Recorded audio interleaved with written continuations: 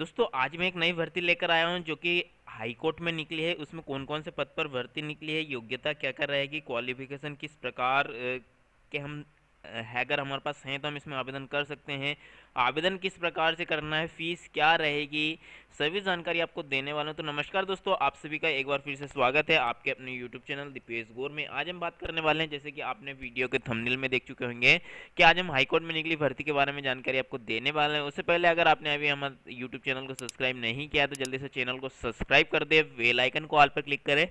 ताकि आप सभी को वीडियो की नोटिफिकेशन सबसे पहले मिल सके। तो चलिए जानते हैं हाईकोर्ट में निकली भर्ती के बारे में कि किस हाईकोर्ट में निकली है।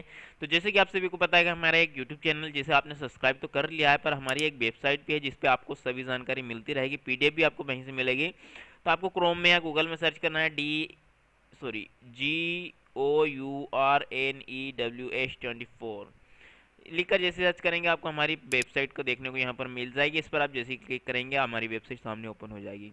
हाईकोर्ट में 260 पदों पर निकली भर्ती ग्रेजुएट को मिलेगा मौका। कंप्यूटर नॉलेज ज़रूरी है। अगर आपके पास कंप्यूटर नॉलेज है तो आप इसमें ज़रूर से आवेदन कर सकते हैं। तो हम इस पर जैसे क्लिक करेंगे, और अभी तक आपने हमारी वेबसाइट को फॉलो नहीं किया है तो जल्दी से हमारी वेबसाइट को यहाँ पर फॉलो कर लीजिए। आपको यहाँ पर फॉलो का बटन दिख जाएगा।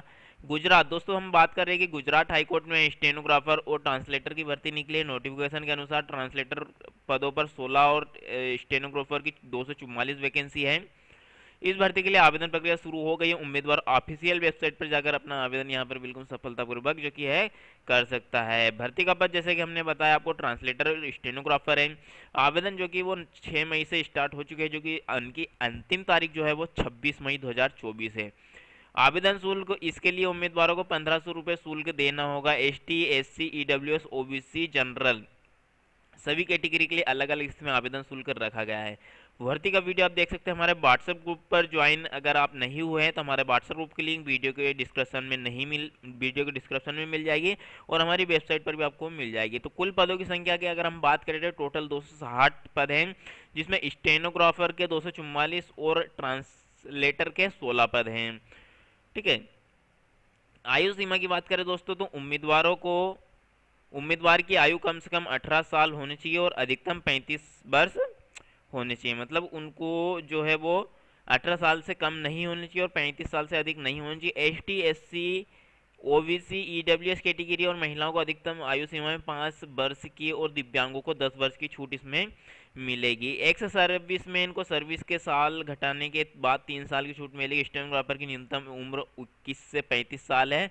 आरक्षित वर्ग के उम्मीदवारों को नियम के अनुसार यहाँ पर छूट दी जाएगी। सबसे इंपॉर्टेंट होता है दोस्तों हमारा शैक्षणिक योग्यता की हम, हमारे पास वो योग्यता है भी नहीं हम इसमें आवेदन कर सकते हैं नहीं। तो हम पहले स्टेनोग्राफर की बात कर लेते हैं।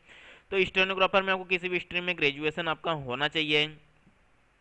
ग्रेड सेकेंड के लिए इंग्लिश शॉर्ट हेड स्पीड 120 प्रति मिनट आपकी आनी चाहिए और ग्रेड थर्ड के लिए अगर आप आवेदन कर रहे हैं तो 100 शब्द प्रति मिनट शॉर्ट हेड स्पीड आपकी आनी चाहिए। तो बात कर ले ट्रांसलेटर की।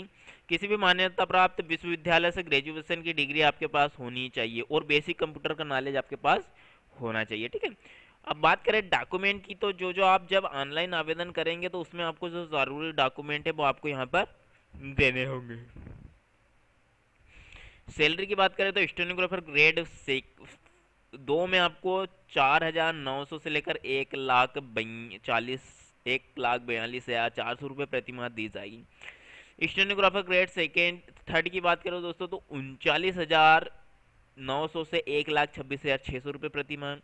ट्रांसलेटर की बात करें दोस्तों तो पैंतीस हज़ार चार सौ से एक लाख बारह हज़ार चार सौ रुपये प्रति माह आपको दी जाएगी। सिलेक्शन प्रोसेस क्या रहेगा? रिटर्न एग्ज़ाम के बेस पर रहेगा आपका सिलेक्शन, ठीक है? अगर आप आप सभी क्वालिफिकेशन भी है, आपकी एज भी आपकी लिमिट के अंदर आ रही है तो आप इसमें अगर आवेदन करना चाहते तो किस प्रकार से करते थे? सबसे पहले आपको ऑफिशियल वेबसाइट पर जाना है होम पेज पर हाई कोर्ट भर्ती दो लिंक पर क्लिक करें। सभी डिटेल आपको दर्ज करनी जो जो डिटेल आपसे मांग रहा है डॉक्यूमेंट जो जो डॉक्यूमेंट ज़रूरी है, उसकी स्कैन करके आपको कॉपी अपलोड करनी है फ़ीस ऑनलाइन भुगतान करना है और फॉर्म का प्रिंट आउट निकाल कर आपके पास रख लेना है। ऑफिशियल नोटिफिकेशन स्टोनोग्राफर का अगर आप डाउनलोड करना चाहते हैं तो यहाँ पर आपको क्लिक करे पर क्लिक कर देना है तो यहाँ पर आपके सामने जो स्टोनोग्राफर का जो है वो ऑफिशियल वेबसाइट वो सॉरी ऑफिशियल नोटिफिकेशन आपके सामने ओपन हो जाएगा। बात करें कि ट्रांसलेटर की तो ट्रांसलेटर पे आप जैसे क्लिक करेंगे, उसका भी ऑफिशियल नोटिफिकेशन जो है आपके स्क्रीन पर डाउनलोड हो जाएगा। उसके बाद बात करें कि ऑनलाइन वेबसाइट की लिंक कहाँ है तो यहाँ पर आपको ऑनलाइन वेब आवेदन वेबसाइट की लिंक पर क्लिक कर देना तो यहाँ पर जो आपके सामने ऑनलाइन ऑफिशियल वेबसाइट यहाँ पर खुलकर ओपन हो जाएगी। तो कुछ इस प्रकार से दोस्तों, आप हाई कोर्ट में निकली 260 पदों की भर्ती पर इसमें अगर आप ऑनलाइन आवेदन करना चाहते हैं तो कर सकते हैं। हमारी सोशल मीडिया लिंक यहाँ पर काउंटर यहाँ पर लगा हुआ है, जिसे आपने फॉलो नहीं किया तो जल्दी से जाकर फॉलो कर लें। और अभी तक आपने हमारी वेबसाइट को फॉलो नहीं किया तो उसे भी ज़रूर फॉलो कर लें। और यूट्यूब चैनल को तो आप सभी ने ज़रूर से सब्सक्राइब करके रखा होगा। दोस्तों, इस वीडियो में इतना ही। नेक्स्ट वीडियो लेकर आपके साथ जल्द मिलेंगे। तब तक के लिए दीजिए मुझे इजाज़त। जय हिंद, जय भारत बंदे मातरम।